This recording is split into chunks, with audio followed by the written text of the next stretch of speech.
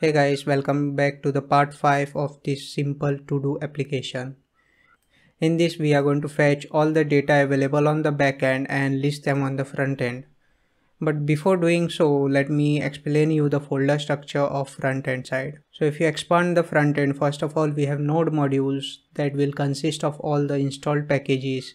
Then we have public for HTML and icons and then we have source. In this we are going to work the most and then we have few more files like package json package log readme vue configuration etc inside the source directory we have the asset whereby we store all the logos images etc and then we have component. This is where we are going to create our component today.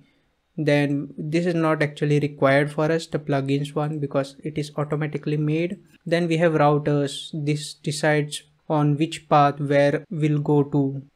And then we have views. This is where also we are going to work today and app and main.js we don't usually touch this main.js okay? So let's go to the app.vue and all the vue files have an extension of .view if we go back to the uh, browser and have a look at this this has all the default data available. So we are going to clean this up and remove this and rename this so let's go ahead and do that. For that we are going to go inside the app.vue and let's start by clearing everything. We don't need this. We don't need this. We don't need a button on the right hand side but we need a div with class of d-flex and align center. This should be flex.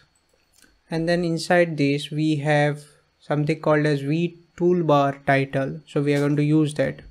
Toolbar dash title.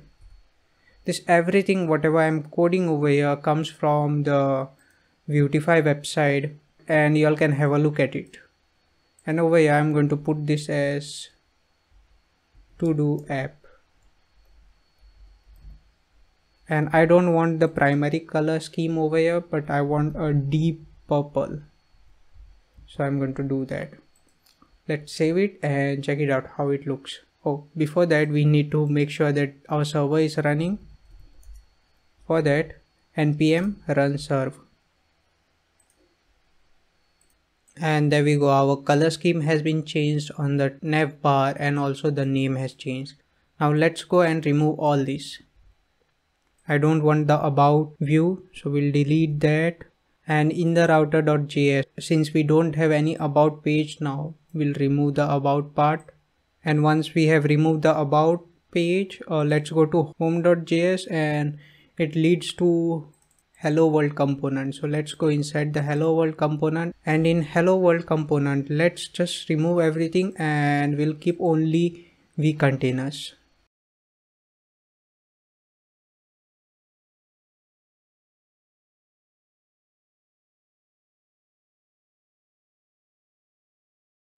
and in the assets we don't need all these logos so let's remove the logos as well. And let's try to run the server once again. And there we go. We have cleaned our application. Nothing is available anymore. And let's go ahead and start coding. For that let's go to the Vuetify page and over here search for list. And at the bottom of the page we have item list group. So navigate over there. And if we scroll down to flat list we'll have these two kind of section available with us. That is section controls because this also we need and this also. So i'm going to just expand this copy the code from v list. And uh, let's go onto the code and paste it over here. But this will come in a v row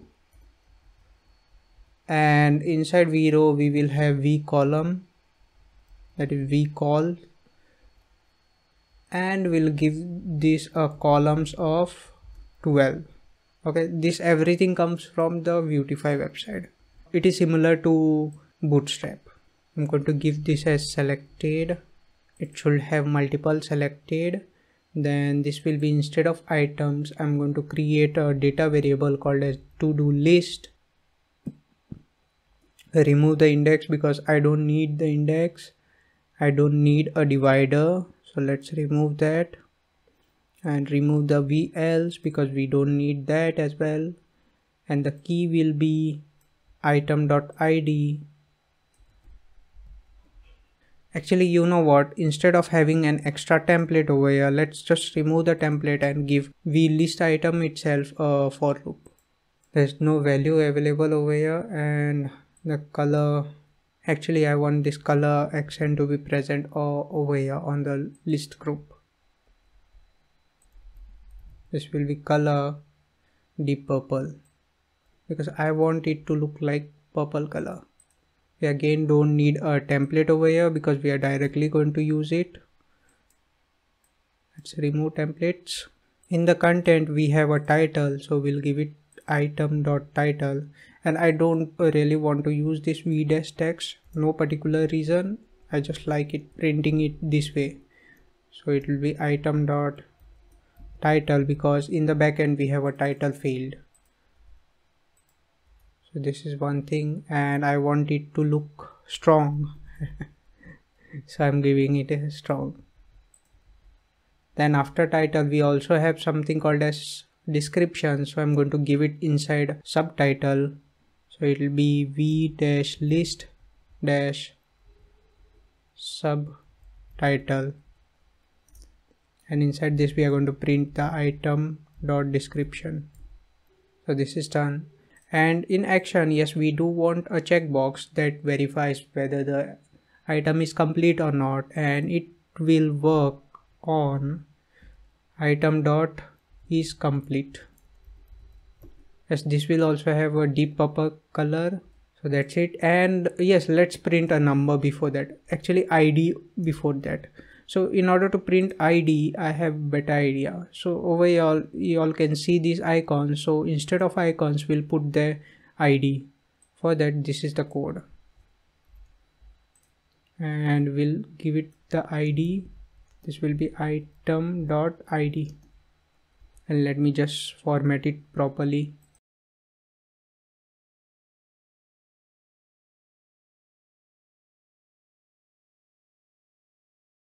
okay so that's how the front end looks like.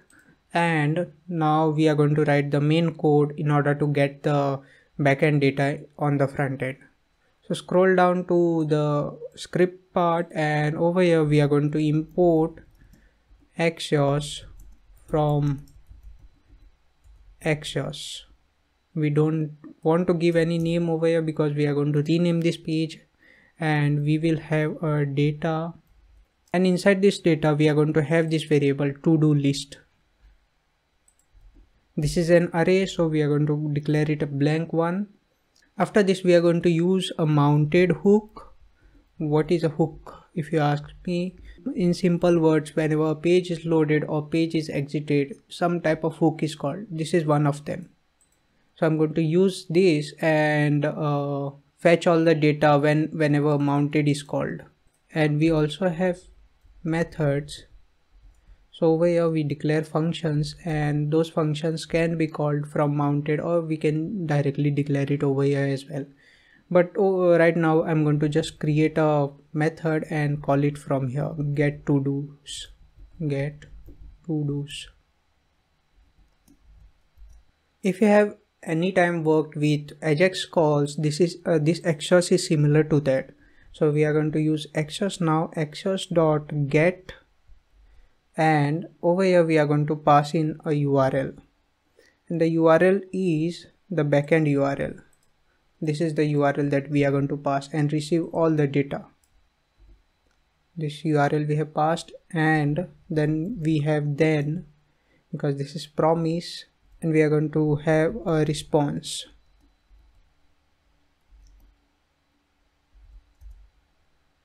first of all we'll print this response in the console log and then we'll assign the response data to to do list so let's go ahead and print it first to show you all how the data comes. Let me run the server. Okay, we are facing some error. Let's try to fix it.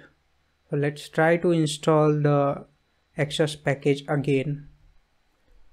Npm install axios and let's run, try to run the server now.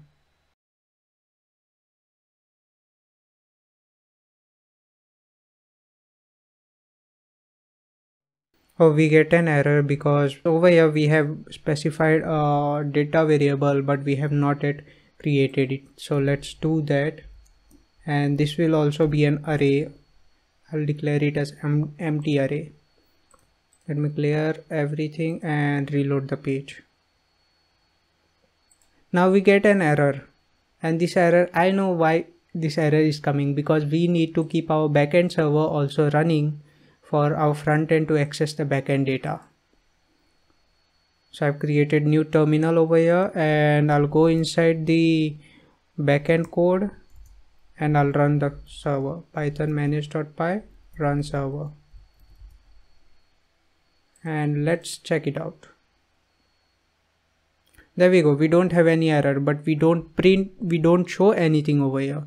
Why is that? Because we haven't assigned it properly.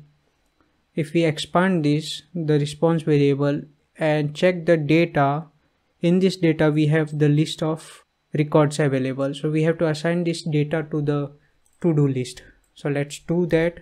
So i'm going to access by this dot to-do list and it will have response dot data and i think that should do our job. Let's save it. Uh, let me just restart the server again.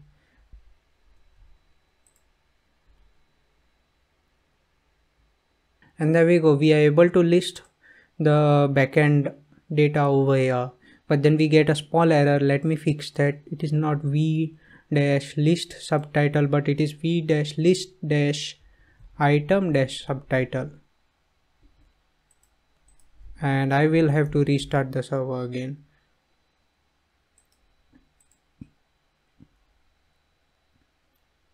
And there we go. We have successfully fetched all the backend data and listed them on front end before we end this video, I want to do one thing. Rename this component to to do.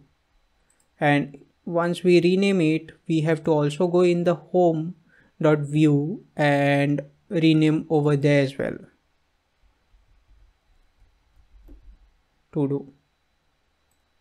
And here as well. So that's it guys for this video. In the next one, we are going to create a form to add new records in the to-do list. See you in the next one.